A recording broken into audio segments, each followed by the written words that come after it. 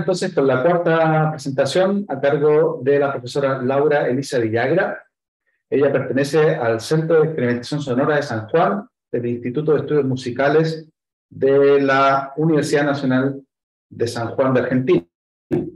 La profesora Villagra es graduada en la Facultad de Filosofía, Humanidades y Artes de la Universidad Nacional de San Juan en Argentina como intérprete musical en guitarra.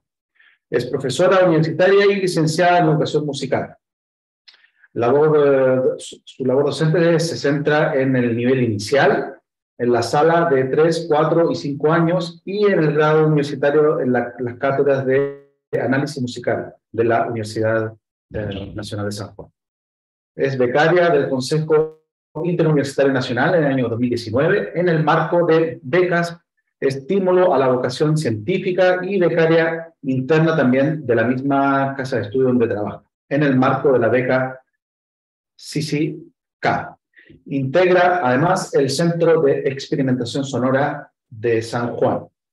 Su, su exposición, que se llama Arte Sonoro en eh, nivel inicial, eh, hace referencia al nivel inicial. El nivel inicial, recordemos, aquí se llama también el kinder, ¿no? la enseñanza para los más pequeñitos. El nivel inicial es un espacio donde las producciones musicales abundan ya que múltiples actividades diarias desarrolladas en distintas áreas se sirven de ella. Entonces, si el papel pedagógico de la música ya se evidencia, ¿cuál es la tarea que le resta al especialista en música en este nivel? La función de la educación musical en el nivel inicial no es la formación de músicos, sino la de, favorecer la capacidad comunicativa y artística del niño proponiendo experiencias artísticas que estimulen el pensamiento creativo, asociativo y divergente. Por lo tanto, el arte sonoro ingresa a la asignatura de educación musical para expandirla y se ajusta a los propósitos deseados para el nivel inicial, ya que invita a repensar el sonido, fuentes sonoras, su transformación y significación en el contexto actual. A partir de diferentes datos recogidos por su investigación, se elaboraron matrices relacionales donde se conjugaron las premisas teóricas y se configuró una hipótesis didáctica que vinculó las tipologías del arte sonoro seleccionadas con cada uno de los contenidos del diseño curricular jurisdiccional, de forma secuenciada en las tres salas que comprenden el, nivel eh, inicial. Sin más, entonces, damos paso a la profesora Villagra y le recordamos que después de esta presentación comienza la rueda de preguntas. Adelante, gracias. Bueno, muchas gracias. Eh, voy a presentar.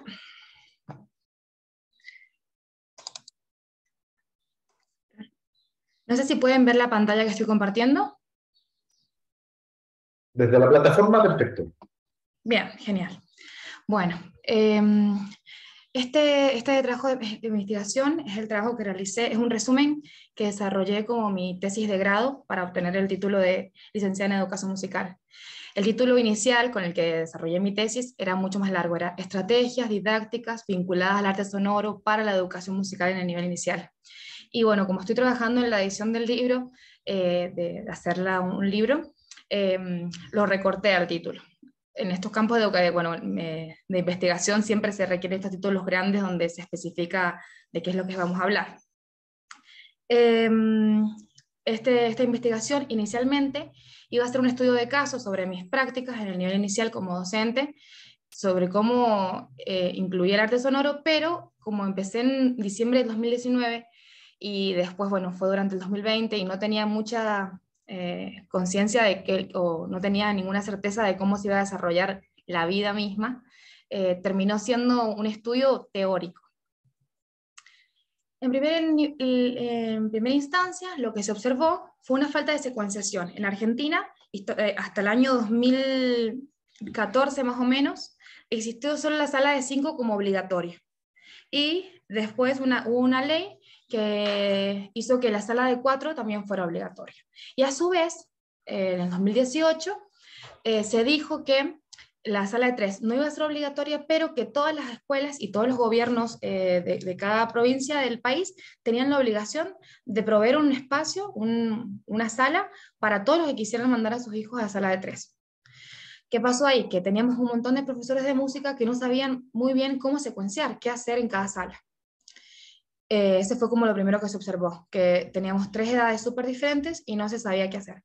Y por otro lado, que normalmente las planificaciones que abundaban, digamos, que, se, que más se promovían, esto desde de, un estudio no de los antecedentes, de las tesis de, de otras pedagogas que han analizado este caso, era la justaposición de actividades. Es decir, un día enseñó ritmo, otro día enseñó canto, otro día enseñó instrumento, otro día enseñó diferentes cuestiones, eh, cualidades del sonido, pero no había una estrategia, no había un planeamiento estratégico con un objetivo final eh, coherente, digamos. Entonces los niños básicamente eh, de 3, 4 y 5 años aprendían cosas un poco desorganizadamente.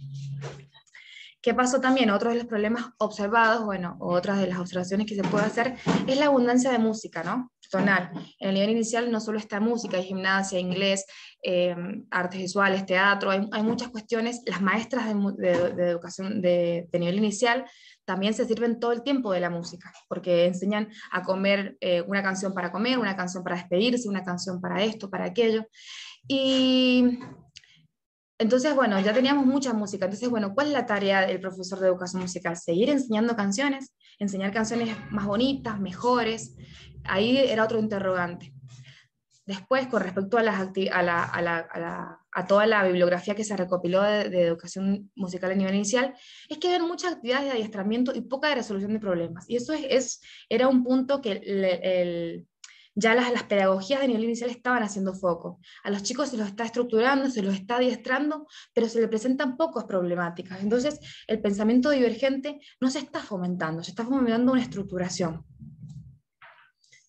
Em, había como una contradicción. En, en Argentina fue muy popular eh, una obra que realizó Judith Koski, que se llama Ruidos y Ruiditos, que son tres volúmenes de CD, y un último CD que, que propuso que se llama Cuadros Sonoros. Judith Koski, una gran música y compositora, implementó el uso de cotidiáfonos, ¿bien? instrumentos realizados con materiales inusuales o reciclables, pero bueno, los, educadores musicales, ¿qué es lo que querían? Volver a, darle las formas clásicas o a, estos eh, instrumentos cotidiáfonos, ¿no? Bueno, voy a intentar hacer una guitarra, voy a intentar hacer algo que ya, digamos, está basado ¿no? en la tradición, eh, en la tradición, en, los cánones, ¿no?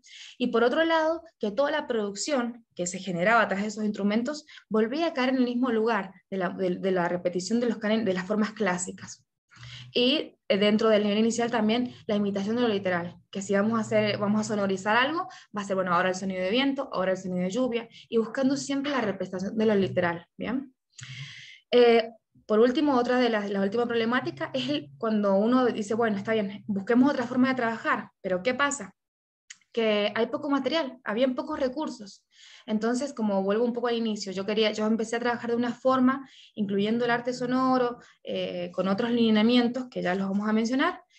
Y cuando quería hablar sobre esto y, me di cuenta que había poco material, que todos los recursos estaban asentados un poco en la vieja escuela, ¿no? en esta escuela de adiestramiento, en esta escuela que estructura al niño. El arte sonoro nos pareció un gran potencial como recurso, porque si bien tenemos una disciplina que, hace las artes visuales, que es interdisciplinaria, que trasciende, digamos, y lo que busca, eh, no pertenece exclusivamente a los músicos, y por lo tanto, digamos, no se ciñe tanto a la adquisición de herramientas, herramientas específicas de la música, si bien sabemos que el concepto de música está muy ampliado, sino que hay un concepto de creación sonora expandida. Y además, lo más importante que me parecía era que hay una transformación de la escucha. La escucha ya no estaba ceñida a ese cuadro donde instrumento, eh, forma, eh, sino que largo, corto, sino que hay una transformación de la escucha en, esto, en, esta, en, este, en, este, en este recurso, digamos, en el arte sonoro como disciplina. Em, ¿Cómo vinculamos eh, el arte sonoro con la, con la, con, la, con la educación musical, con la planificación? Bueno, sin quitarle la cualidad sensible, ¿sí? Porque esa también fue como la estrategia, fue como la pregunta de la investigación, bien la estoy resumiendo bastante. Yo tenía el arte sonoro como un potencial, sabía que lo queríamos incluir en el inicial, yo ya lo estaba incluyendo, pero bueno, ¿cómo lo vinculamos en una planificación? Porque eso al final es lo que, le, es lo que más iba, iba a ser más concreto para transmitirlo a otros colegas docentes que estaban, que estaban trabajando. ¿Por qué? Porque la planificación tiene un componente rígido que va a ser el currículum, que nos va a especificar ciertos contenidos, y nosotros tenemos que, bueno, desarrollarlo a partir de ahí. Y teníamos nosotros acá en San Juan y en, Argentina en general, porque indagamos mucho sobre eso, que había un solo diseño curricular, que era para sala de cinco. Entonces, bueno, ¿cómo divido todos esos contenidos em, en las tres salas? Y ese fue el objetivo del proyecto, proponer una estrategia didáctica, o sea, es decir, que todo el año se trabajara un, un objetivo final, ¿vean? No que se fueran dando juxtaposición de actividades que estas estuvieran vinculadas al arte sonoro para expandir el concepto de creación de, música que se va a utilizar en el jardín, ya que la música tonal estaba totalmente cubierta, la dosis de música tonal estaba cubierta, para el desarrollo de, proyectos didácticos de educación musical, bien, secuenciando las salas de 3, 4 y 5, muy importante nos parecía, y vinculando los contenidos del diseño curricular, de, en este caso, de la provincia de San Juan. Pero el diseño curricular de la provincia de San Juan es una copia, ¿no? O sea, tiene los mismos contenidos, que tienen casi todos los de la, República Argentina. Es un cut and paste bastante obvio. Entonces, bueno, ¿cómo se va a confeccionar esta estrategia? Eh, bueno, primero tenemos que tener en cuenta que los contenidos tenían tres núcleos, producción, apreciación y contextualización, que tenía que estar, cuáles eran las características cognitivas de los 3, 4 y 5 años, eh, que teníamos que tener en cuenta la educación por capacidades, que es como se trabaja acá la educación musical en, el nivel inicial, o sea, es decir, no desde la adquisición de, conceptos eh, puntualmente musicales, sino capacidades como comunicación, trabajo con otros, resolución, de problemas. Y algo muy importante que van a ser las conductas musicales que es la propuesta pedagógica de François de Lalande, que hace en la música de un juego de niños, y que bueno, yo tuve el placer de encontrarme con estas grabaciones que él hace con Olivia Concha Molinari, ¿no? Que es quien un poco le va a seguir el hilo y, van a un poco concretar el, pensamiento donde Dalalán dice, bueno, ya sabemos toda la música y la variedad que existe y no sabemos qué música va a existir en el futuro. Y lo que nosotros los educadores musicales tenemos que hacer es fomentar conductas musicales, ¿sí? Y él hace todo el, desarrollo de su tesis. ¿Qué pasó? Bueno, teniendo estos postulados, ¿no? Primero, bueno, entendiendo el Piaget, el, juego, eh, el desarrollo, digamos, de cognitivo a través del juego, los diferentes tipos de juegos, la propuesta de Lalande, y algo más que se sumó, que fue la propuesta de Sion, de Michel Sion, ¿no? este colaborador de Pierre Schaffer, eh, que bueno, las tipos de escucha, porque escucha no solo hay una, la escucha reducida es la que fomenta la, educación musical clásica, eh, timbre, altura, duración, pero hay otros tipos de escuchas, ¿no? Entonces, bueno, hicimos esta conjunción de postulados para secuenciar las tres salas, para que nos quedara claro qué íbamos, a dónde íbamos a poner el foco eh, en, nuestra, en nuestro nuestra planificación. Eh, y eso siempre con la, vista clara en que el objetivo de la estrategia es estimular conductas musicales, no estructurar en un tipo de música y desarrollar los modos de escucha. La escucha es un, evento complejo que se va a dar siempre en, multiplicidad, digamos, pero bueno, íbamos a, a buscar actividades que focalizaran una escucha en cada sala. Para eso, bueno, dijimos, ¿qué recursos nos vamos a valer? Y bueno, tenemos que ver el arte sonoro que eh, se divide en tipologías, como géneros, ¿no? De, dentro de ese subgénero, dentro de este gran género. Seleccionamos las tipologías, escuchamos muchas obras, hicimos todo un corpus de, obras que escuchamos, de, proyectos, de performance.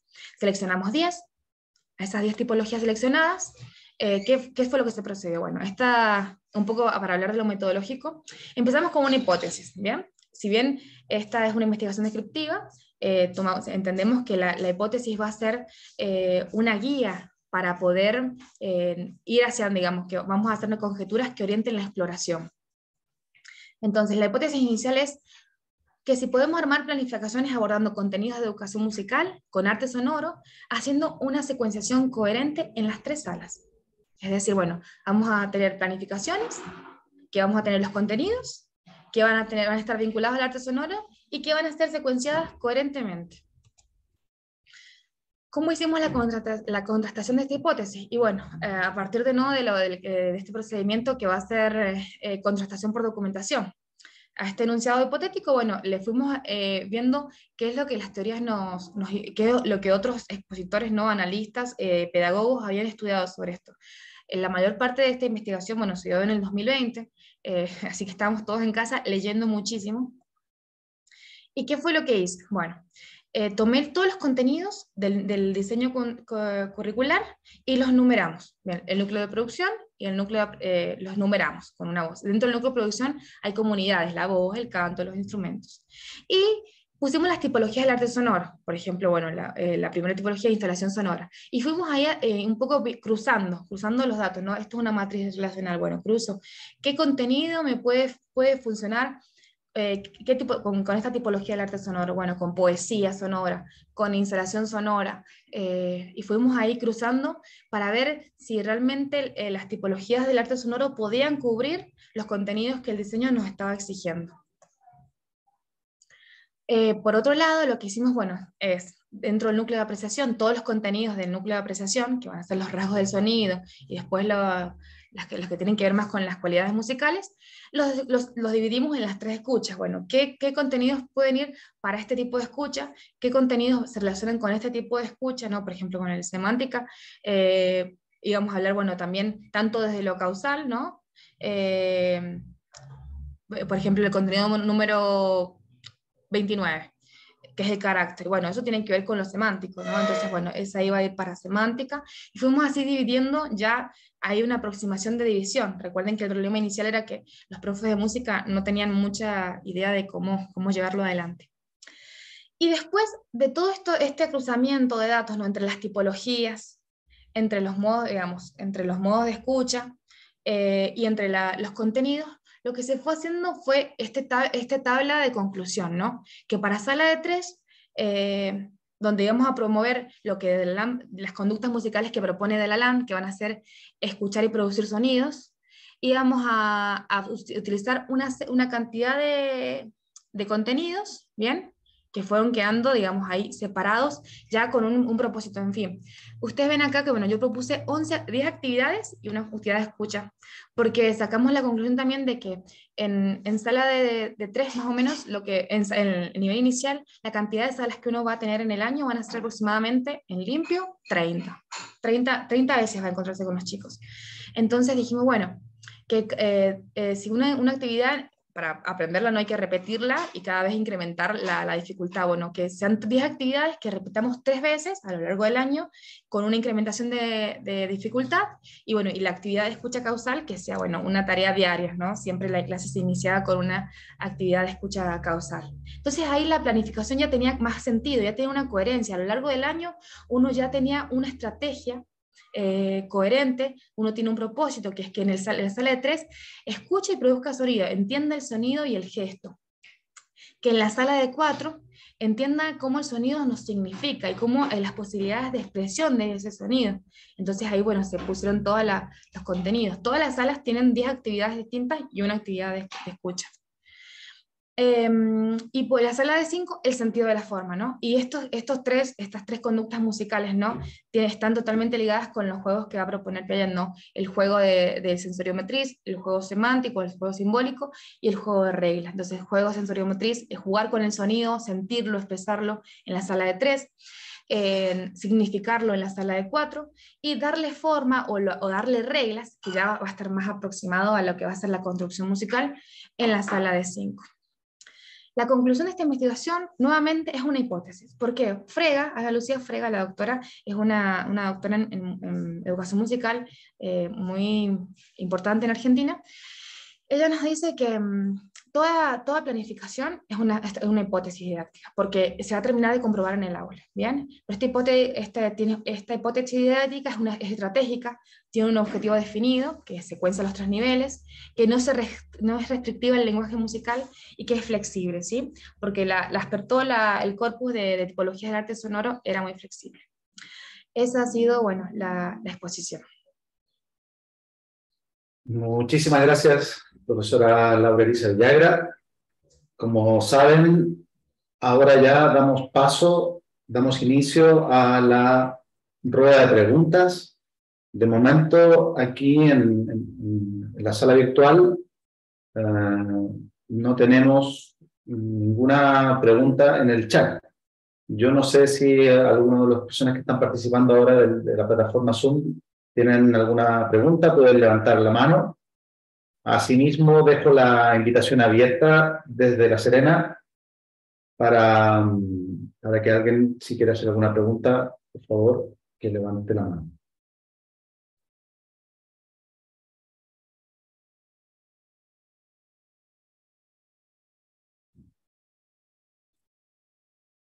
María Victoria, eh, activa tu micrófono. Adelante. Gracias. Em, no quería agradecer eh, todas las ponencias, pero sobre todo la de Laura, porque es me, me, parece como profesora una propuesta que en el fondo entrega alineamientos, pero a la vez deja el espacio a los profesores y a las profesoras de tomar decisiones.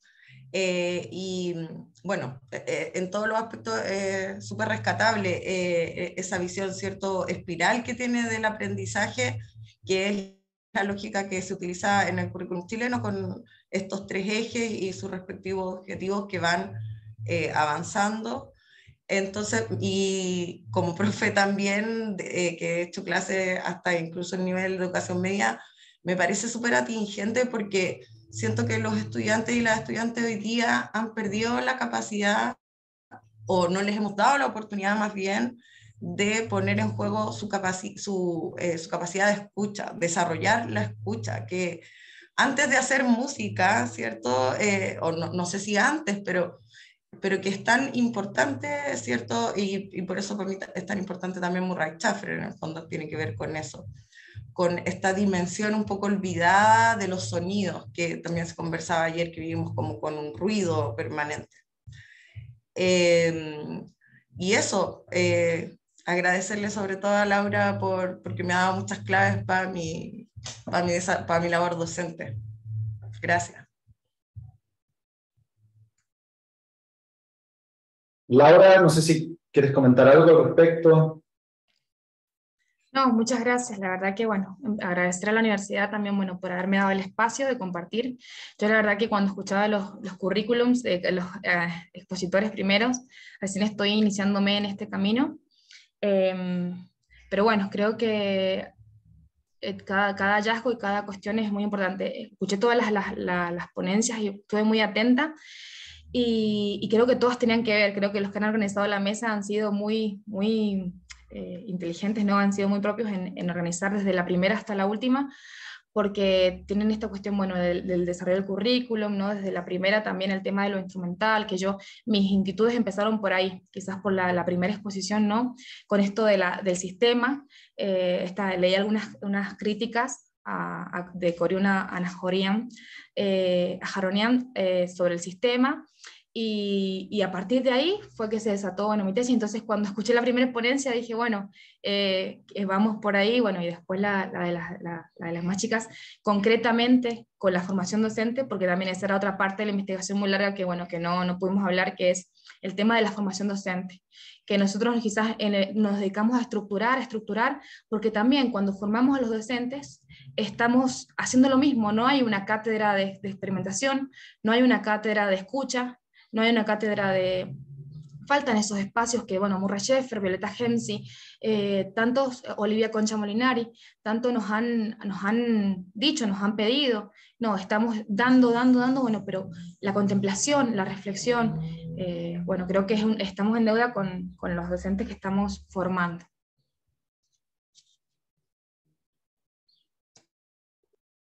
Muchas gracias, Laura.